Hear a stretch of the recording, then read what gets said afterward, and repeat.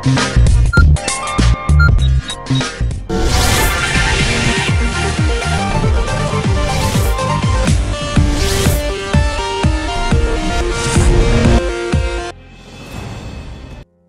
modernisasyon ng ACV-300 ay produkto ng M113 APC Firepower Upgrade ng Philippine Army.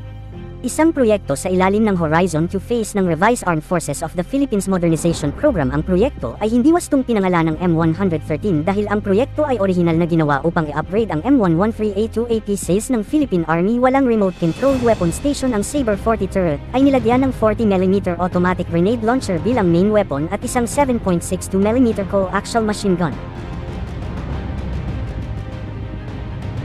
Ipinakita ng Philippine Army Armor Pambato Division ang kanilang upgraded military tanks.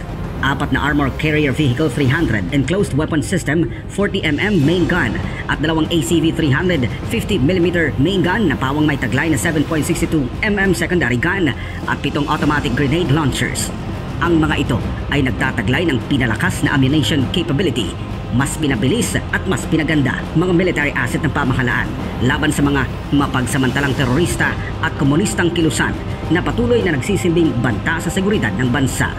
Ayon sa Army Armor Division, dati nang ginagamit ang mga tangke sa iba't ibang military operations at higit pang mapapabuti ang kanilang serbisyo ngayong mas napaganda pa ang kanilang mga kagamitan. Ilan lamang ito sa mga upgraded na military tanks ng Philippine Army na magsisilbing depensa para sa mga nais manggulo at sakupin ang bansa. Nauna nang ipinangako ng pamunuan ng Philippine Army na ngayong 2023 ay tututukan nila ang territorial defense ng Pilipinas. Despite our uh, gains that we have done for the last three years or two years, um, meron pa rin mga konting natitira na current threats that we are addressing. And uh, I'm making sure that the commanders understand the task at hand. Natatapusin talaga natin. Una-unahang Iglo Type Ammunition Storage Facility ng Armor Pambato Division. Tugon ito sa panawagan ng Department of National Defense na masolusyonan ang isyu ng ammunition wastage. Sa pasilidad na ito, inaasahan na magiging maayos ang pangangalaga ng mga supply na bala at hindi masasayang ang gastos ng gobyerno dito. Diba, nagbanggit siya na maraming amo na nasasayang. Am ammunition wastage. No? Ang nabanggit niya.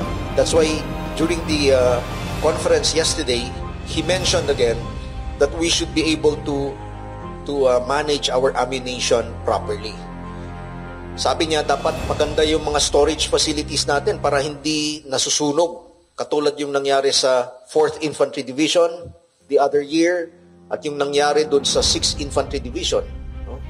yung nangyari rin dito sa sa ating ASCOM at sa iba pang mga uh, AMO storage facilities natin. Ito ang isa sa mga proyekto ngayon ng Defense Department ng Bansa sa paghihimok na pagkakaroon ng maayos at dekalidad na ammunition storage facility sa bawat kampo ng militar sa bansa para sa mas maganda pang serbisyo nito para sa kaligtasan ng publiko at ng bansa.